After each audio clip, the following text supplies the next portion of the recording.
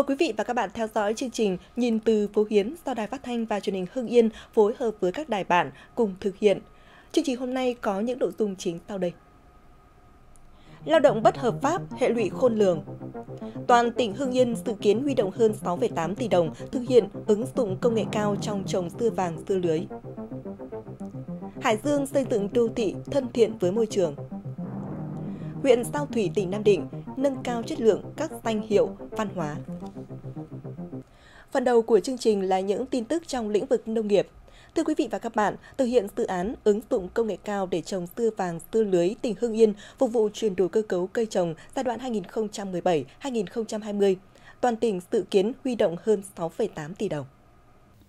Trong đó, vốn ngân sách tỉnh hỗ trợ thực hiện các mô hình hơn 2,5 tỷ đồng, còn lại là vốn do nông dân và nguồn vốn hợp pháp khác – Mục tiêu đến năm 2020, Sở Nông nghiệp và Phát triển Nông thôn sẽ xây dựng 8.000 m2 nhà lưới trồng dưa bằng giá thể đựng trong túi, hệ thống tưới nước có dinh dưỡng, đào tạo 90 cán bộ kỹ thuật và nông dân đạt trình độ cao, am hiểu kiến thức kinh nghiệm trồng dưa vàng dư lưới trong nhà lưới, Phấn đấu năng suất dưa trong mô hình đạt bình quân 50 tấn trên vụ, giá trị thu được từ 1,5 đến 2 tỷ đồng một hecta. Đến nay dự án được triển khai trên thực tế đã cho hiệu quả kinh tế đạt và vượt so với mục tiêu. Dưa lưới từ khi trồng đến khi thu hoạch khoảng 80 ngày đạt trọng lượng từ 1,5 đến 1,7 kg trên quả, năng suất trung bình hơn 2 tấn trên 1.000 m2, giá bán từ 40 đến 50.000 đồng một kg. Nếu chăm sóc tốt, 1.000 m2 dưa lưới cho lãi khoảng 40 triệu đồng một vụ. Trong điều kiện của biến đổi khí hậu thì sự chuyển hướng sang sản xuất nông nghiệp công nghệ cao là giải pháp nâng cao năng suất cây trồng, tăng giá trị về kinh tế. Tại tỉnh Thái Bình, công ty cổ phần Toan Vân, thành phố Thái Bình đã đi đầu trong việc sản xuất cây trồng theo công nghệ với quy trình 50, sản phẩm đã đáp ứng được yêu cầu sạch và nông dân tăng thêm nguồn thu nhập khi tham gia vào mô hình nông nghiệp này. Nhổ cỏ bằng tay, không sử dụng thuốc bảo vệ thực vật mà chỉ dùng thảo dược cho cây trồng. Đó là hai trong số 5 nguyên tắc sản xuất đang được công ty cổ phần thương mại tổng hợp Toan Vân thực hiện và chỉ trong một vụ đầu sản xuất hiệu quả đã thấy rõ, một hecta công ty thu hoạch từ 18 đến 20 tấn ớt. Sản phẩm sạch được cung cấp cho siêu thị giá cao gấp 1,5 lần so với bán tại các chợ truyền thống. Áp dụng cái công nghệ mới vào trong cái sản xuất để tăng năng suất cây trồng cũng như là tạo ra một cái uh, sản lượng ừ, cao hơn trên một cái diện tích đất sử dụng. Tại đây, cây trồng được sản xuất theo quy trình Việt Gáp, với tính nghiêm ngặt của quy trình, đội ngũ kỹ sư gồm 5 người phải có hồ sơ ghi chép tất cả các khâu sản xuất. Để sản phẩm khi đến với người tiêu dùng, họ có thể truy nguyên lại được toàn bộ quá trình.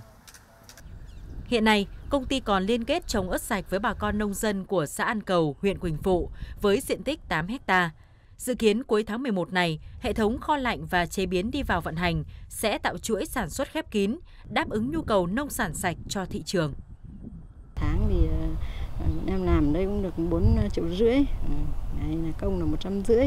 So với đi phù hồ thì nó đỡ vất vả hơn, thì công việc nó cũng ổn định. Tiền phòng trong lĩnh vực sản xuất nông nghiệp công nghệ cao của tỉnh, công ty cổ phần thương mại tổng hợp Toàn Vân đang góp phần mang lại sản phẩm sạch cho thị trường, giúp nông dân Thái Bình làm giàu từ nông nghiệp. Xã Mỹ Tân, huyện Mỹ Lộc, tỉnh Nam Định là địa phương có lợi thế để nghề trồng hoa phát triển. Từ thực tế canh tác nhận thấy điều kiện tự nhiên thuận lợi, bên cạnh những giống hoa truyền thống như cúc ly, gần đây nhiều hộ trong xã đã mạnh dạn thử nghiệm trồng thành công nhiều mô hình hoa hồng cổ đem lại hiệu quả kinh tế cao.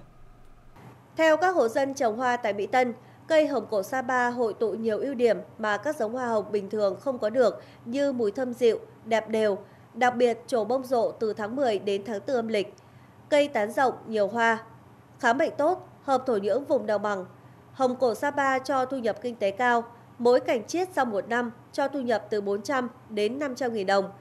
Cây hồng có tuổi từ 3 đến 4 năm đạt giá trị từ 4 đến 5 triệu đồng. Cây từ 5 đến 6 tuổi có giá trị từ 6 đến 7 triệu đồng. Những cây tuổi đời lâu hơn, giá có thể lên tới hơn chục triệu đồng.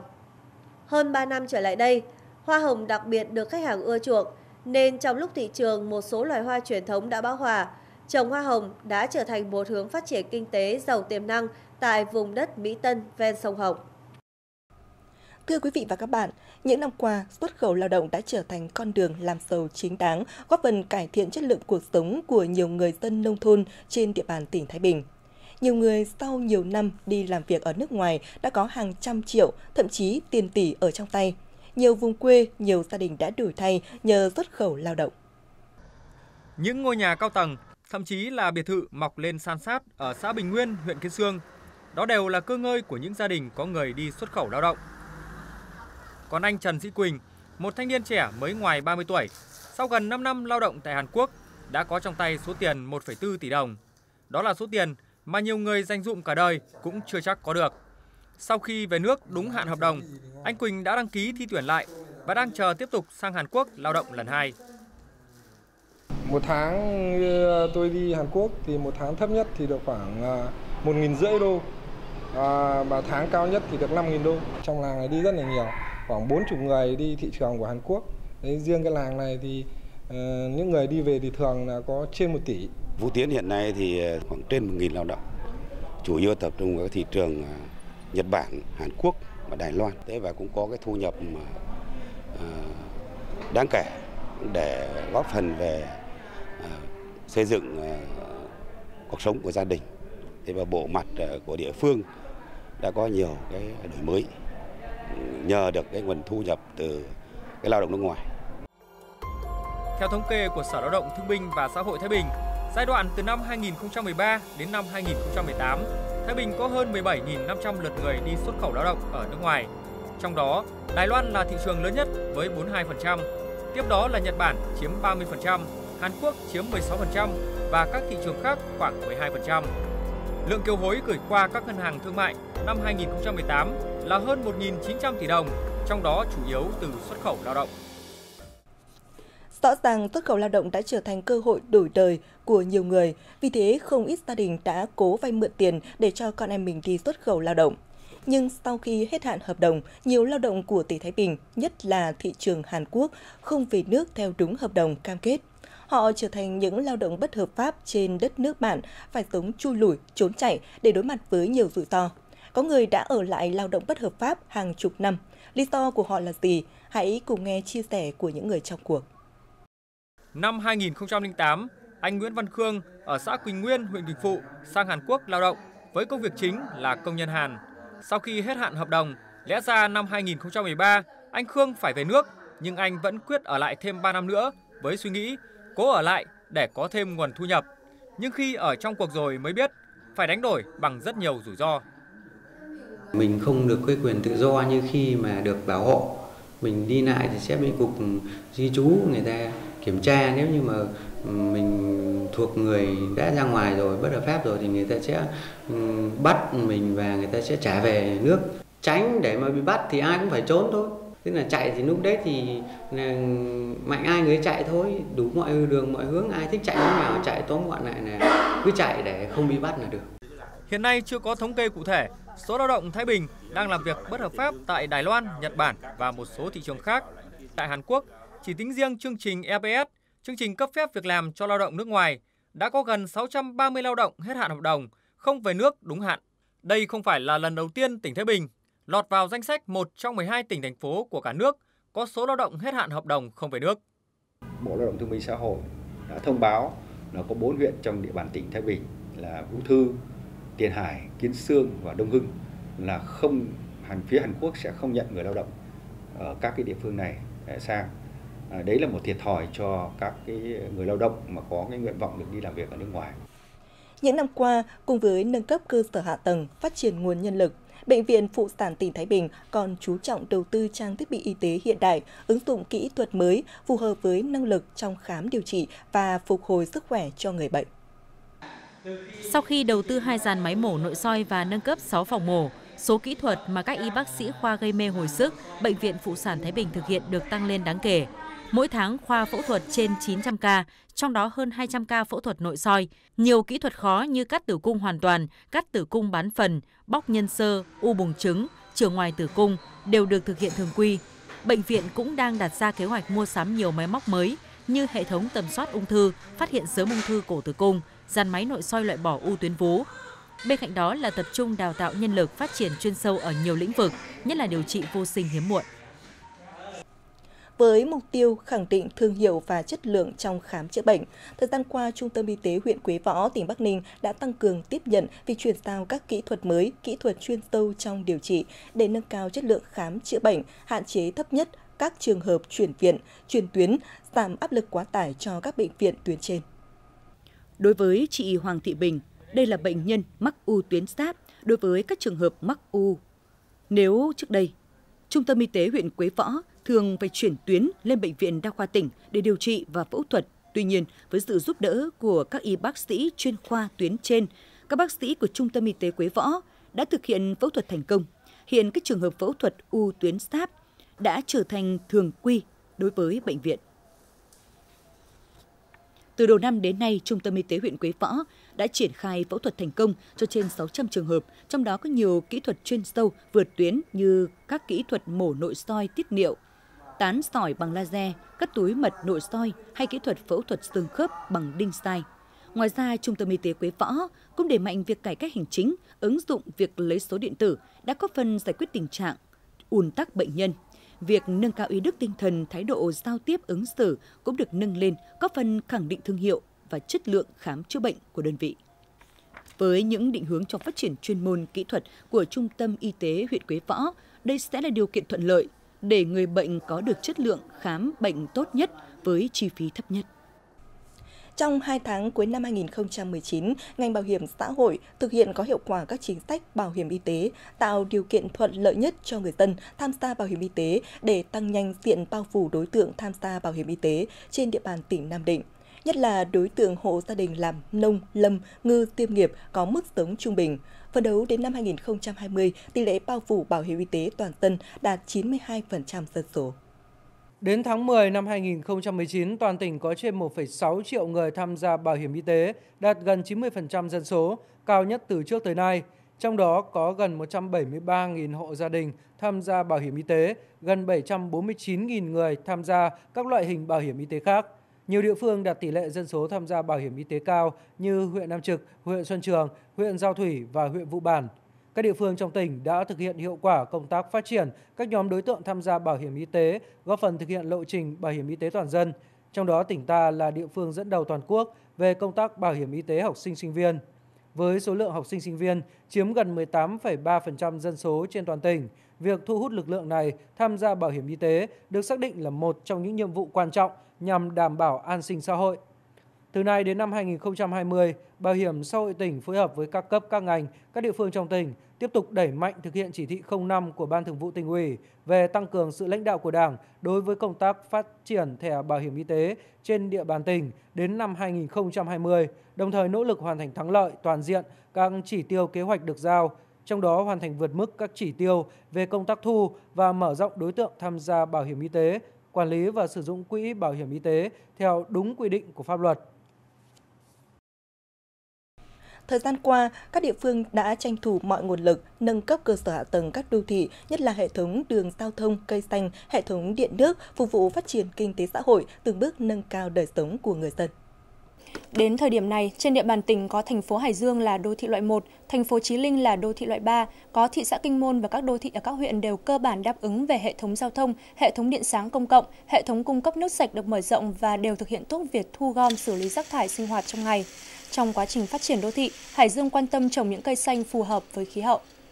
Việc bảo vệ môi trường trong lĩnh vực xây dựng đang là ưu tiên hàng đầu, các thiết kế kiến trúc theo hướng phát triển bền vững, trong đó tăng cường ứng dụng khoa học công nghệ sản xuất vật liệu thân thiện không gây ô nhiễm môi trường.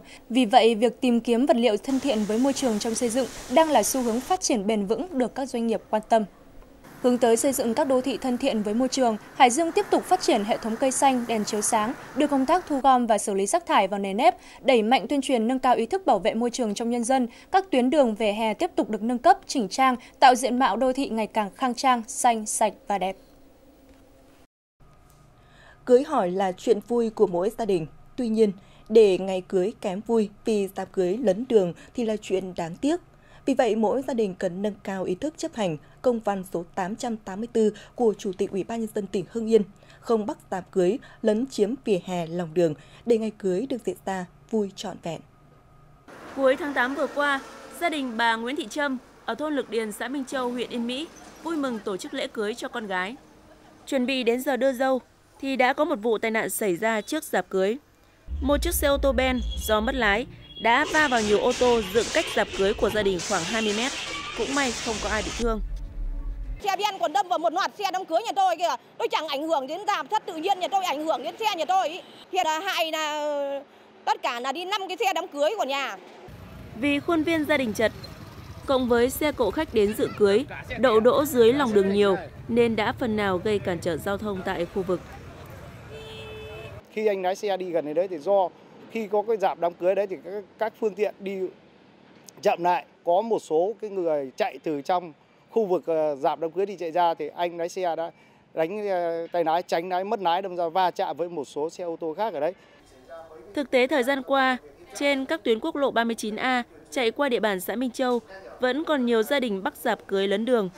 Mặc dù địa phương thường xuyên tuyên truyền trên loa truyền thanh của xã, nhưng do không có địa điểm tổ chức sự kiện như nhà hàng, khách sạn và do xã chưa có nhà văn hóa thôn, nhà văn hóa xã để người dân mượn tổ chức tiệc cưới cũng là một trong những khó khăn vướng mắc cho địa phương.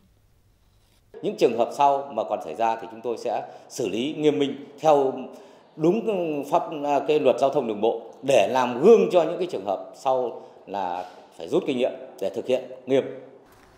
Được biết trong năm 2018, huyện Yên Mỹ đã xử lý 4 trường hợp bắt dạp cưới lấn đường ở một số xã như Tân Lập, Lưu Xá, Nghĩa Hiệp. Từ đầu năm giờ thì chúng tôi đã tham mưu cho ban toàn giao thông cũng như ban huyện là ban hành hai cái văn bản và đặc biệt là cũng ờ, chuẩn bị cũng ờ, cái dịp cuối năm lại cao điểm về cái mùa cưới thì chúng tôi cũng đã tham mưu cho ủy ban dân huyện cũng như ban toàn giao thông xây dựng các cái kế hoạch ờ, giải tỏa hành lang giao thông chỉ đạo các xã thị trấn là ừ, Ừ, tuyên truyền vận động nhân dân là ừ, cái mức thấp nhất là không bắt dạp cưới trong cái hành lang toàn giao thông. Ngày 18 tháng 4 năm 2019, Chủ tịch Ủy ban Nhân dân tỉnh ban hành công văn số 884 CVUBND về việc ngăn ngừa tai nạn giao thông do các hoạt động cộng đồng của người dân vi phạm trật tự an toàn giao thông. Theo đó, lực lượng chức năng của địa phương có biện pháp ngăn chặn kịp thời, giám sát, phát hiện xử lý các hành vi vi phạm quy định pháp luật về sử dụng lòng đường, lề đường, vỉa hè. Địa phương nào để xảy ra vi phạm dẫn đến tai nạn giao thông thì Chủ tịch Ủy ban Nhân dân huyện, thành phố đó chịu trách nhiệm trước Chủ tịch Ủy ban Nhân dân tỉnh và chịu xử lý trách nhiệm theo quy định của pháp luật. Theo kế hoạch, năm nay huyện Thanh Hà, tỉnh Hải Dương tu bổ 15 hạng mục công trình đê điều tại 11 xã. Đến thời điểm này, một số công trình đạt khối lượng lớn như xây dựng kè Thanh Bính đạt 90% khối lượng, kè Vĩnh Lập đạt 95% khối lượng. Một số công trình bắt đầu triển khai như xử lý cấp bách tuyến đê hữu sông Dạng, đoạn qua xã Thanh Lang, xây dựng cống gừng bằng bê tông cốt thép, cống Bá Nha, xã Hợp Đức, bê tông hóa mặt đê tuyến sông Hữu Văn Úc qua xã Hợp Đức. Các hạng mục thi công thuộc tuyến đê tả sông Thái Bình trên địa bàn các xã Trường Thành, Thanh Hồng, Thanh Hải, Phượng Hoàng, Thanh Sơn hiện đã hoàn thành giải phóng mặt bằng, một số hạng mục đã giao tuyến thi công.